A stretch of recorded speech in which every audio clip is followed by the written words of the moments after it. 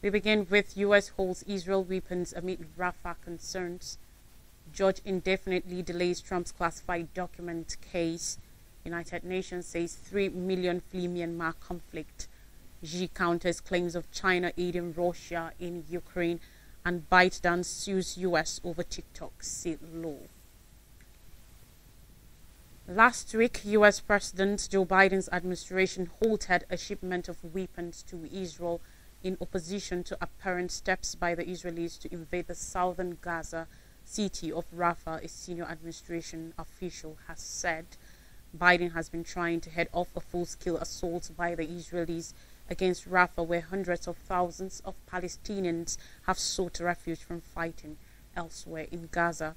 According to a report on Tuesday, unnamed United States officials said the U.S. started to carefully review proposed transfers of particular weapons to Israel that might be used in Rafah in April when it seemed Israel appeared close to making a decision on the assault.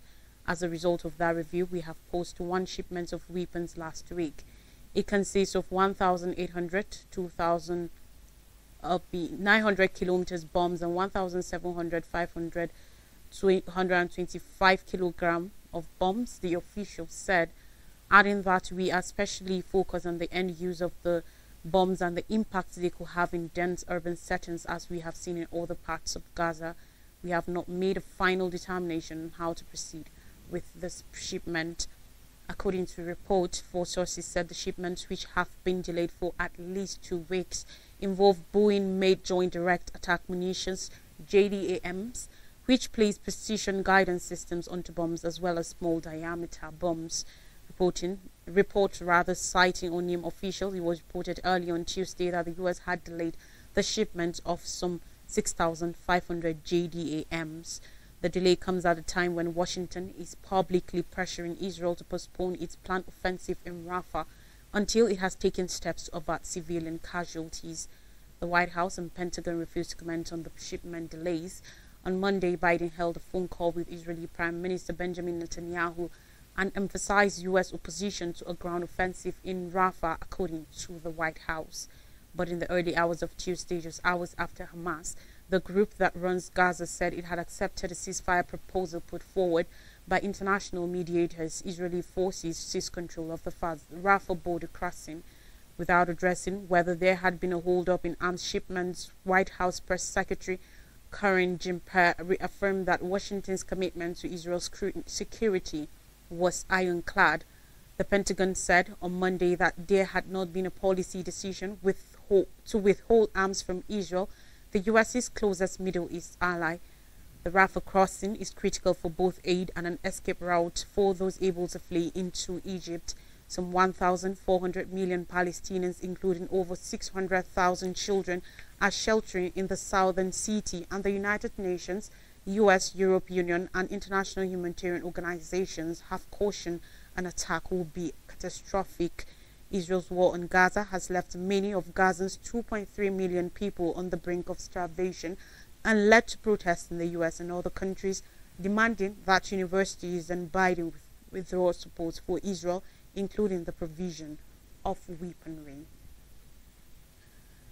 Now on judicial matters, a United States judge in Florida has adjourned indefinitely ex-President Donald Trump's trial on charges that he unlawfully kept classified documents after leaving office. On Tuesday, U.S. District Judge Aileen Cannon said Trump's trial will no longer commence on May 20, 20th, but she did not set a new date for the proceedings to begin, casting further doubt on whether he will face trial before the November poll when he hopes to win the presidency for a second time. Trump faces loads of charges accusing him of illegally keeping top secret documents that he took from the White House in 2021 after losing the election to Democrat Joe Biden. Also accused of thwarting the FBI's efforts to get the papers back, Trump has pleaded not guilty and denied wrongdoing. The prosecution and defense had both acknowledged that the May date trial will possibly need to be delayed given still unresolved issues in the case and because Trump is presently on trial in New York in relation with alleged hush money payment to adult film star Stormy Daniels during the 2016 presidential election. The New York case involves many of the same lawyers who are representing Trump in Florida case. Judge Cannon, who was appointed by Trump in 2020, planned pre-trial hearings to take place until July 22nd. She said it will be imprudent to set a new trial date given the uncertainties. Special counsel Jack Smith, who brought case, has proposed proceedings commence in July. Trump's lawyers have said it should not begin until after the November 5th election, although suggested suggested rather an August 12th date in reaction to an order from Cannon to promote, propose a timeline for the case. Trump's lawyers have worked to delay all four criminal cases he faces. The other two cases relate to his alleged attempts to overturn the results of the 2020 election. He has already been charged in a Georgia state court over the allegations, while the Supreme Court is weighing Trump's argument that he is immune from federal prosecution in a separate case brought by Smith. Trump has sought to portray all the legal cases against him as politically motivated. The charges in the Florida case include violations of the Espionage Act, which criminalizes the unauthorized possession of national defense information as well as conspiracy to obstruct justice and making false statements to investigators. Cannon has denied two attempts by Trump to dismiss the charges, but several remain pending. Moving forward, the number of people in Myanmar forced from their homes by conflict now surpasses over 3 million in what the United Nations has described as a bleak milestone for the country. The United Nations said the number displaced had increased by 50% in the last six months as fighting intensified between the military and armed groups trying to remove the generals who seized power in a coup in February 2021.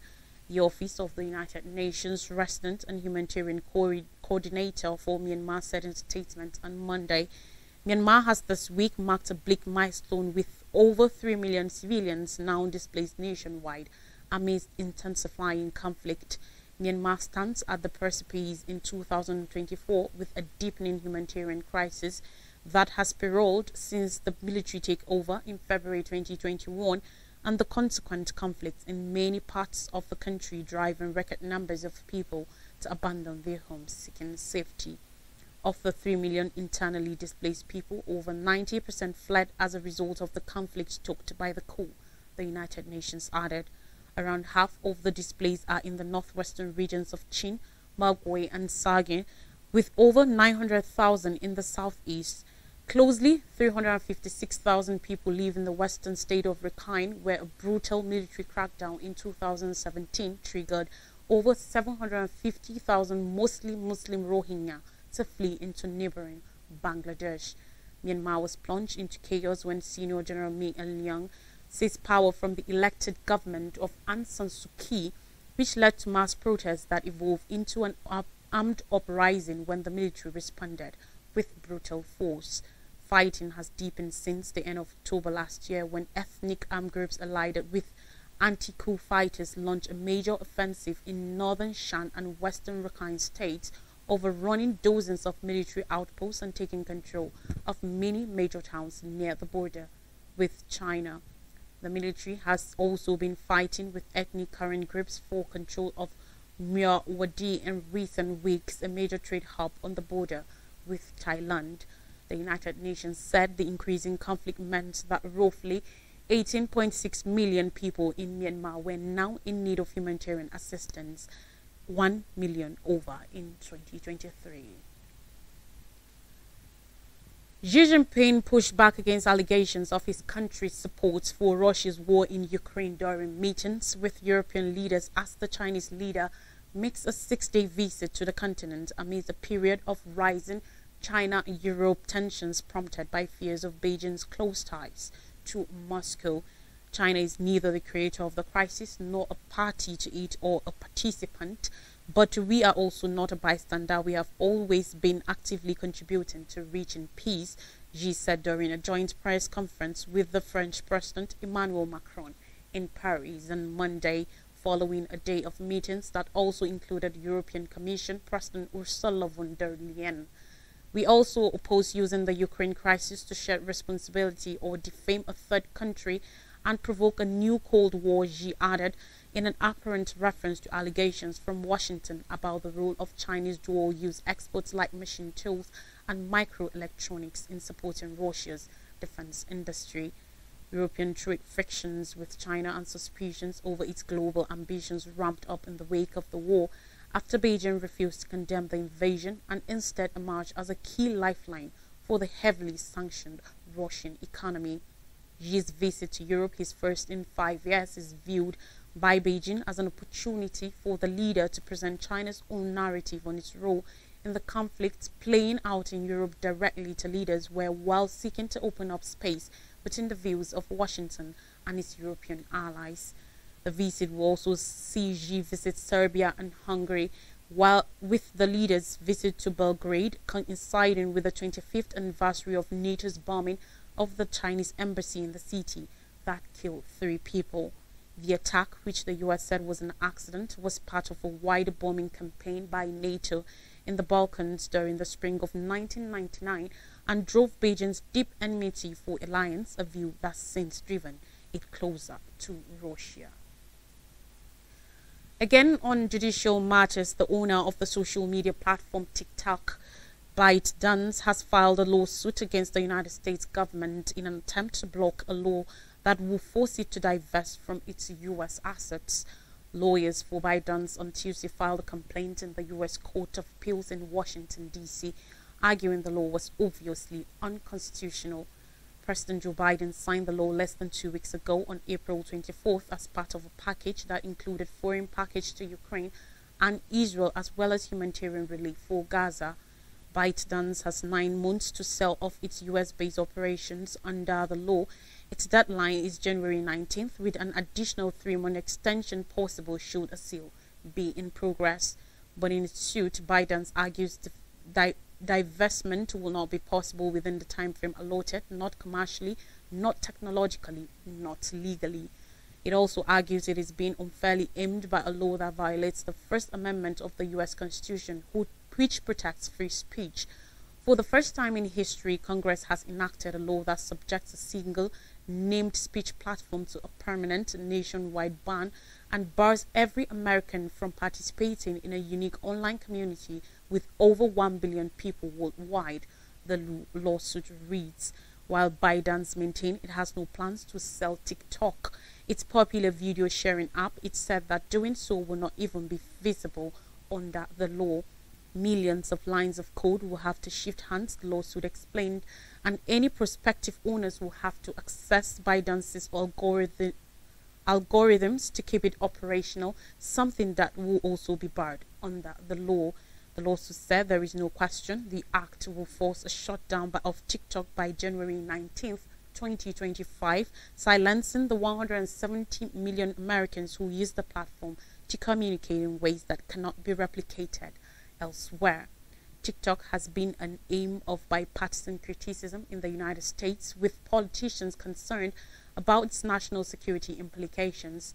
ByteDance is a Chinese technology company, and its critics fear that the Chinese government could request the information it collects from users, raising privacy concerns. U.S. Congress members like Representative Raja Krishnamoorthi said the April law is therefore necessary to protect U.S. users. On more stories on floods, Brazil flood says 90 dead, desperate rescues underway. Rescuers rushing to evacuate people stuck by flood waters across the southern Brazilian state of Rio Grande do Sul, where at least 90 people have been killed and over 130 others are missing. The state capital of Porto Alegre has been virtually cut off by the flooding, with the airport and bus station closed and major roads closed. According to reports, the situation had become very desperate as volunteers and rescue crews tried to evacuate residents. The state's civil defense agency said the death toll has risen to 90, with another four deaths being probed. Another 131 people are still unaccounted for, and 155,000 are homeless. Heavy rains that began last week have caused rivers to flood, flooding whole towns and damaging roads and bridges in Porto Alegre, a city of 1.3 million residents on the Guaíba River. Residents face empty supermarket shelves and closed gas stations with shops rationing sales of mineral water. Five of Porto Alegre's six water treatment facilities are not working, and Mayor Sebastião Melo on Monday decreed that water be used exclusively for essential consumption. In African shores, Russian Foreign Minister Sierra Leone counterpart discussed ties. Sergei Lavrov, Russian Foreign Minister, recently hosted by his counterpart from Sierra Leone, Timothy Kabba, in Moscow for deliberations targeted at boosting bilateral relations. During the meeting, Kabba extended congratulations to Russian President Vladimir Putin on his re-election victory and subsequent inauguration. Lavrov characterized Sierra Leone as Russia's long-standing and dependable partner in Africa. He disclosed plans to expand diplomatic outreach by opening fresh missions on the African continent, with Freetown being a priority for this year. Lavrov highlighted the significance of translating decisions into action, signifying active measures towards this objective. We plan to open fresh diplomatic missions on the African continent, including in Freetown. In Freetown, we anticipate to do the, it this year, before the end of this year. All the needed decisions have been made. It is necessary to implement them, which is a practical task, and we are working on it. The Russian minister furthermore emphasized potential collaboration in peaceful nuclear energy. These included meetings about the prospect of constructing a nuclear power plant in Sierra Leone. Now I'll take a quick break and when I come back I'll bring you more stories from Nigeria. Don't go anywhere.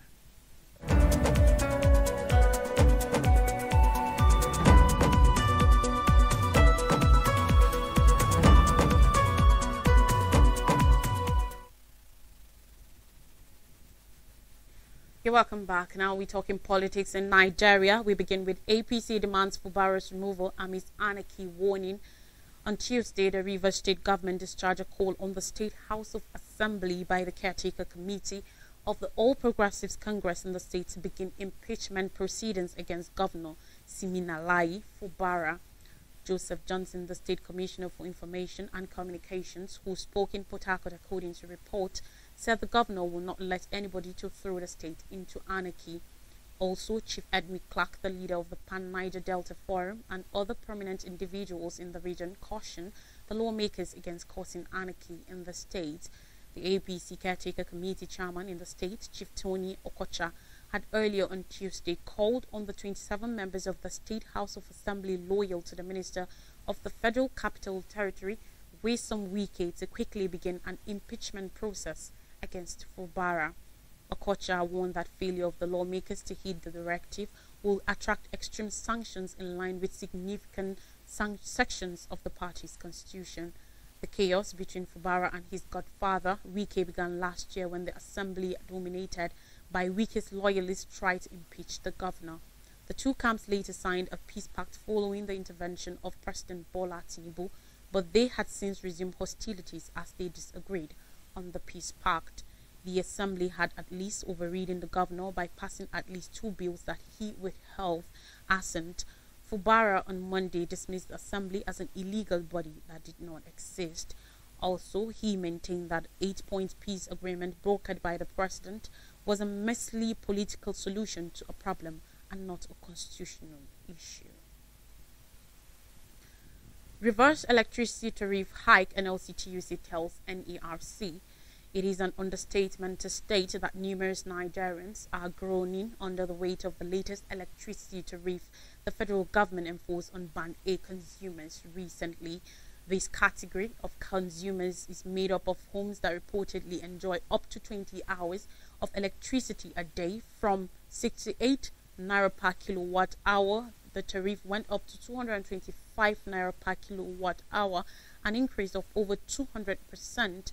For now, Band B, C, D, and E are not affected by this pilot phase, but the full cost reflective tariff is built to take effect within a period of three years.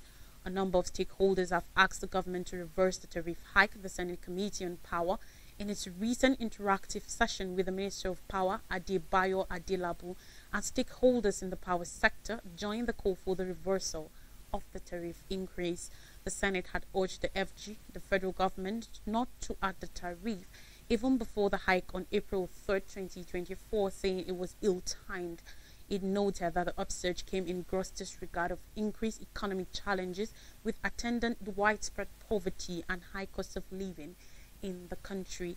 It implored the government to rather focus on electricity generation and distribution. The lower chamber, the House of Representatives, similarly spoke against the tariff hike, expressing worry over discrepancies in consumer categorization and threats to regulatory certainty and investor confidence in the sector. The House called on the Nigerian Electricity Regulatory Commission NERC to suspend the implementation of the electricity hike in the country. As anticipated, the Nigerian Labour Congress NLC, Trade Union Congress TUC, and some other bodies like the Nigerian Bar Association NBA kicked against this tariff hike and called for a reversal.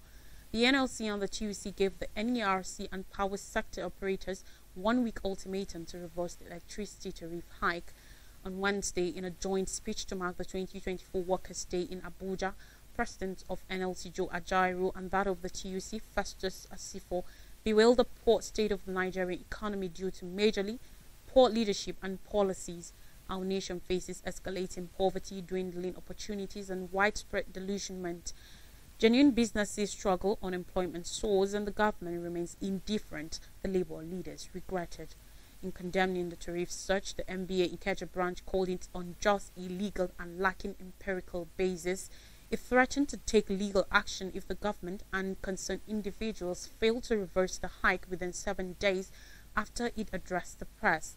The National Association of Nigerian Students NANS threatened to hold a nationwide protest on May 7, 2024 against fuel scarcity and electricity crisis. The organized private sector OPS said the policy will worsen the cost of doing business in the country. In spite of these condemnations and fears, the power minister and the NERC have continued to justify the addition. According to Adelabu, the hike was to stop a complete collapse of the power sector. He made reference to outstanding debts owed generating companies Genco said to amount to about 1.3 trillion naira and to gas companies and noted that government will require 10 billion US dollars every year for the next 10 years to fix the power sector. He said his ministry required over 2 trillion naira for electricity subsidy this year, whereas the government only budgeted 450 billion naira for it. And finally, on the news, Uwaleke says CBN should retract cybersecurity levy. An ex-commissioner for finance in Imo State, Professor Uche Uwaleke, has urged the Central Bank of Nigeria (CBN) to instantly withdraw the latest circular directing banks to charge 0.5% levy on electronic transactions. Such withdrawal was against the backdrop of assurances by the government that its plan to add revenue will not include introducing new taxes or increase in tax rates, according to him.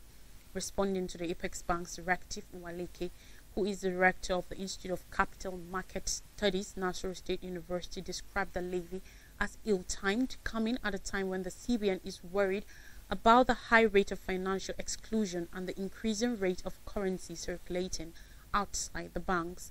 The levy, he argued, carries the downside risk of discouraging financial intermediation as well as complicating the transmission of monetary policy with more people snubbing the banks due to high charges.